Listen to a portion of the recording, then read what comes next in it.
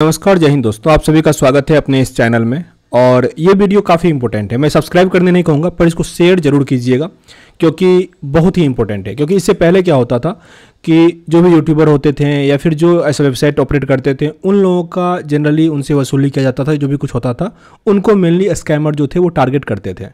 लेकिन ये जो नया स्कैम आ रहा है ना, इसमें हर एक लोग, जो भी व्हाट्सएप फेसबुक यूज़ करते हैं, कोई भी सोशल साइट और आजकल जनरली लोग यूज़ करते ही हैं। तो ये स्कैम हालाँकि नया तो नहीं कहेंगे, क्योंकि ये दो तीन महीने से हो रहा है। इससे पहले मेरे फ्रेंड लोगों के साथ हुआ था, उन लोगों ने मेरे साथ साझा किया हुआ था, और रात में, कल रात में, देख रहे हो, ये मेरे साथ हुआ। तो मैं उसको थोड़ा डीपली बात करने का कोशिश किया, कि भाई मुझे पता है, तुम सही से थोड़ा बताओ। तो उसने पूरा डिटेल मेरे साथ बात किया तो सोचा यही साझा करता हूँ, ताकि आप लोग सतर्क रहो। साथ ही इससे पहले भी यूट्यूब के थ्रू मेरा हैक हुआ था, वो कैसे हुआ था? एक बार कुरियर के थ्रू भी पैसा मांगा गया था, वो सब भी हम साझा करेंगे कैसे किया किया मतलब किया जाता है। तो पूरा ध्यान से देखिएगा। पहले हम देखते हैं इसका चैट में क्या बात हुआ था। यहाँ पे देखिए, पहले क्या हुआ कि अननोन नंबर से फ़ोन इस नंबर पर ट्राई नहीं कीजिएगा, क्योंकि क्या होता है ना कि दो से तीन दिन में ये लोग लोग जो होता है अपना नंबर चेंज कर लेता है और फिर वो कंपनी जो होता है, चाहे एयरटेल हो या जियो जो भी हो, वो दूसरे के नाम से वो नंबर इशू कर देता है। तो कोई फ़ायदा नहीं, आपको उससे बात नहीं होगा, ठीक है ना? तो इसलिए वो मूर्खतापूर्ण बात नहीं कीजिएगा किस नंबर पर डेल कर दे तो यहाँ पर देखिए बात क्या होता है। हेलो का मैसेज आता है, फिर हम भी लिखे, भाई क्या बात है? तो वाट आर यू डूइंग फिर मेरा था हु आर यू एंड तुमने मेरा नंबर कैसे लिया? तो वो लिखती है कि मैं निशा हूँ और मैं फेसबुक से आपका नंबर ली हूँ। तो फिर मैं उसको कहा कि यार मुझे याद नहीं आ रहा, तुम कैसे नंबर ली हो? तो ओके फिर ये बताया कि मैं आपकी लंबे समय से फेसबुक पे फ्रेंड हूँ और मुझे बात करना था तो मैंने आपसे नंबर लिया था। और फिर पूछती है कि क्या मैं आपसे बात मतलब करना चाहती हूँ कि आप बात करेंगे? तो मैंने कहा कि मतलब मैं तुमसे कुछ पूछना चाहता हूँ और फिर मैंने यही सब पूछा कि कि तुम एक दिन में कितना कौन, कॉल कर लेती हो? तुम मतलब ये जो एक्सटेंशन जो नंबर आता है सेम नंबर से, ये जो सेम नंबर है, इससे कितना दिन तक काम चल जाता है तुम्हारा? ओवरऑल जो भी बात हुआ, मैंने इसे कह दिया कि मैं ये स्कैम के बारे में अच्छे तरीके से जानता हूँ। ठीक ना? मैं कोई ऐसा मतलब इस टाइप का जो रोमांस ओवर वीडियो कॉल जो है, ये सब मैं नहीं करता। बस मुझे ये जानना है कि तुम लोग ये काम जो करते हो, कितना कमा लेती हो ये सब चीज़। ठीक ना? तो ये पूछ रही है मतलब कुछ भी मतलब फिर भी हम, अरे पूछे अरे प्लीज़ बताओ ना कुछ इस टाइप का। तो फिर वो बताना शुरू की यहाँ पे आप देख सकते हो कि हमने उसे कहा कि बस एक मंथ के लिए बता दो कि तुम कितना काम कर रहे हो एज ए फ्रेंड ही, बस मैं किसी को बताऊँगा नहीं। तो यहाँ पे वो लिखिए एक लाख। यहाँ पे हम लिखे थे अच्छा if you can tell me do you get more than a one lakh in month because your English seems to be good तो वो बोली थी हाँ मतलब मेरा इंग्लिश अच्छा है और लड़की है, इसीलिए हम इतना कमा लेते हैं. फिर उससे आगे यही सब बात हुआ कि कभी कभी तो लॉस भी होता होगा मतलब कभी कम इनकम भी होता होगा, बहुत लोग फ्रॉड में नहीं फंसते होंगे, जैसे हम नहीं फंसे तो वो बोल रहे थी हाँ ऐसा होता है। तो ऐसे ही बात हुआ। अब एक चीज़ समझिए, ये तो मेरे साथ। हो सकता है आप लोगों में से किसी के मतलब दिमाग में आएगा कि, नहीं, आजकल तो हम लोग काफ़ी अपग्रेड हो गए हैं, ऐसा कुछ नहीं होता। मेरे को यकीन मानो, इससे पहले जो मेरे चार से पाँच फ्रेंड के साथ ये फ्रॉड हुआ है, हालाँकि उसमें से एक जो है इसका शिकार हुआ था, और वो पैसा नहीं दिया हुआ था। जैसे इसमें क्या होता है कि वो आपसे कहेगा कि फ़ोटो सेंड करो या फिर वीडियो कॉल करो, और वीडियो कॉल पे ये लोग पूरा मतलब नीड होकर ही अपना वो तैयार रहता है। और फिर आपसे भी कुछ ऐसा ही एक्टिविटी करवाएगा और फिर वो उसका रिकॉर्ड कर लेता है। समझ रहे हैं? उसको रिकॉर्ड करके फिर वो आपसे रिकॉर्डिंग भेजेगा और कहेगा कि आप हमको पैसा तो फिरौती, नहीं तो ये जो है हम आपके फ्रेंड सर्किल में शेयर कर देंगे। और ये मत सोचना कि उसके पास वो नंबर नहीं होता। उसके पास फेसबुक से वो आपके फ्रेंड में ढेर सारा रहता है। उस सब का पहले से ही वो ट्रू कॉलर से या जैसे भी करके हो। वो आपका नाम ले लिया रहता है, आपके फ्रेंड का नाम, आपके रिलेशन का नाम या नंबर उसके पास सब कुछ रहता है। क्योंकि मेरा एक फ्रेंड था स्टूडेंट ही है। तो उसने ऐसा किया था कि चलो तुम भेज दो जिसको भेजना है।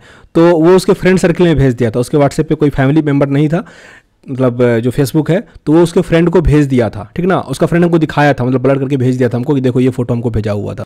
तो इस टाइप के हनी ट्रैप में कभी भी नहीं फंसिएगा।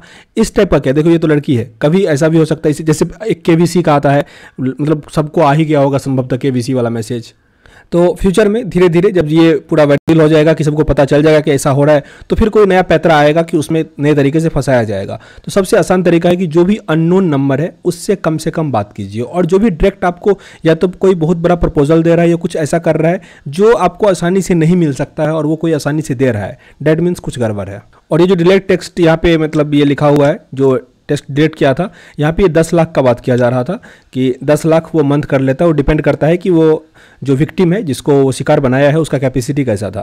कैसे स्टार्ट करता है? मेनली इसमें जो नाम यूज़ किया जाता है ना, काफ़ी लोकल नेम होता है, जो आपके फेसबुक फ्रेंड पे अधिक जिस लड़की का नाम होगा मेनली उसको वो टारगेट करता है और वो नाम आपको बताएगा। जैसे निशा, प्रिया, अनिशा, ढेर सारा आपके फ्रेंड लिस्ट में होगा इस लड़की का नाम, एक दो। तो वो नाम लिखा जाता है। और ये ना समझना कि कोई लड़का होता ऐसा नहीं, लड़की ही होती है, क्योंकि वो बाद में वॉइस नोट भी भेजी थी तो वो लड़की ही थी। उस टाइप की लड़की होती है, देखो उसका इज़्ज़त नेट पे कुछ नहीं होता। लेकिन बाहर के आदमी का कुछ ना कुछ तो वैल्यू है भाई तो उसका वो उस तरीके से जितना, जिस टाइप का इंसान फंस गया, उसको उस तरह से वो ट्रैप में फंसाता है। और ये न्यू मतलब इनोसेंट थे, इसीलिए सब कुछ बता दिया। अब बताते हैं, इससे पहले जो मेरा कुरियर के रिगार्डिंग हुआ था, वो क्या हुआ था? देखो, मैं एक टीवी ऑर्डर किया हुआ था, ठीक है ना? टीवी या लैपटॉप ही आई थिंक था, मैं ऑर्डर किया हुआ था। वो डेट जैसे मान लो दस तारीख को डेट था और मेरा दस तारीख को नहीं आ पाया था। और स्टार्टिंग में जब आप कोई सामान first day second day purchase करते हो ना फ़र्स्ट सेकंड टाइम होता है तो आपको एक अलग क्यूरियोसिटी होता है जल्दी आ जाए भाई, क्योंकि लेट हो ही रहा था वैसे भी। तो दस तारीख को नहीं आया हुआ था। मतलब लेट हो गया था, बारह तारीख को आया था लास्ट में वो। तो हम क्या कहते, दस तारीख को जो हमारा नज़दीकी कुरियर था ब्लू डार्ट या कुछ ऐसा ही कुरियर था तो उसमें वो नज़दीकी वाले में वो पहुँच गया था। तो हम सर्च कर रहे थे गूगल पे कि जो हमारे बगल का कुरियर है, उस स्थान का नाम लेके तो नेट पे बहुत सारा नंबर दिखाया कि कुरियर का नंबर ये है। हम उस नंबर पे डायल किए ठीक ना? पे डायल किया और बताएँ कि भाई साहब, मेरा एक कुरियर है टीवी है, वो पाँच दिनों से आपके पास पड़ा हुआ है, भेज दीजिए, ठीक? इतना हम कहे हुए थे। तो बोलते ठीक है, हम देख के बताते हैं। वो दो मिनट होल्ड पे रखा हमको, देख के बताया और हमको क्या कहता है कि जैसे हम किए थे करीब ग्यारह बजे के आसपास फ़ोन किए थे। तो वो कहता है कि देखिए, आपका जो कुरियर है, वो रखा रह गया है बहुत दिनों से, इसके लिए आपको दो रुपये का एक स्टाम्प आता है, वो आपको इशू करवाना पड़ेगा, उसके बाद इसको हम फिर से रिन्यू कर देंगे तो वो आपका सामान पहुँच जाएगा। अब देखो, दो रुपये का नाम सुन के कोई बोलेगा, अरे यार, ले लो। ठीक ना? तो फिर वो क्या कहता है कि आपको दो रुपये के लिए आपको या तो कोट आना पड़ेगा, जो कि हमारे घर से ज़ाहिर बात दूर है, उसको पता है। तो वो दो रुपये का आपको मतलब दूर है। इसीलिए ऐसा कीजिए कि आपको हम एक फॉर्म भरने के लिए एक लिंक भेजते हैं। उस पर आप क्लिक कीजिएगा और आपको ये पास हो जाएगा। तो हम उसको बोले कि नहीं, लिंक विंक तक तो नहीं होगा, हम व्हाट्सएप नहीं चलाते हैं। तो बोला अच्छा ठीक है, आप जो है ना ओडा ओडा सिटी या कुछ ऐसा था। सॉरी वो तो सॉन्ट का है। एनी डेक्स कहा था। एनी डेक्स जो है, वो मोबाइल में इंस्टॉल कीजिए, उसके बाद हम आपको बताते हैं क्या करना है। तो एनी डेक्स हम इंस्टॉल किए, फिर उसमें एक नंबर आया। और हमको एनी डेक्स बारे में पता था कि जो लैपटॉप का स्क्रीन शेयर होता है ना, वो उससे किया जाता है। तो हम उसको बोल दिए कि, भाई मतलब उसके बाद हम उसको गाली गलो जो भी होता है, वो हम कर दिए कि, क्योंकि एनीडेक्स में क्या करता है, वो मेरा डिवाइस पूरी तरह से ऑपरेट करना शुरू कर देता। तो चाहे वो फ़ोनपे का ट्रांजेक्शन हो, सब कुछ वो आसानी से कर लेता। तो अलग अलग तरह का आता है। यूट्यूब में तो मेनली होता है कि कोई लिंक आएगा या कोई वायरस दे देता है तो उसके कारण होता है। लेकिन जो भी, अगर आपका अनदर फ्रॉड कॉल हो और आपका जिसमें क्रियोसिटी होता है ना उस तरीके से आपको फंसाया जाता है। तो इसीलिए ऐसा कुछ आए तो सतर्क रहिए। मतलब जल्दबाजी कभी भी कीजिएगा तो वो आपको आजकल जो है वो ले डूबेगा। इसीलिए काल में रहिए, थोड़ा लॉस भी हो, लेकिन हड़बड़ा के कहीं से कुछ ज़रूरी नहीं होता कि नेट पे जो चीज़ सही ही है। ठीक ना? क्योंकि मैं जो कुरियर सर्च किया था, वो गूगल पे पूरा एड्रेस के साथ सब कुछ, नाम वाम सब कुछ दिखा रहा था। आपको लगता ओरिजिनल है, लेकिन वो डुप्लीकेट था, ठगने वाला था।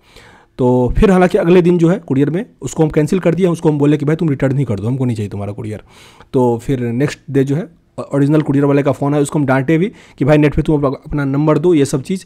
तो बोला कि सर दिए हुए हैं, वो लोग ऐड लगवा के अपने जो साइट है ना उसको प्रमोट करवाता है और उसका ऊपर दिखा देता है लोग उसके ट्रैप में फंस जाते हैं। तो समझ रहे कितना तक चल रहा है ये सब?